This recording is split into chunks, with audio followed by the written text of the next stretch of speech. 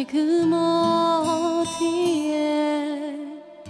그때 그 마음은 또 어디에? 하나 둘씩 사라지는 게 생각보다 훨씬 더 많은 것 같아.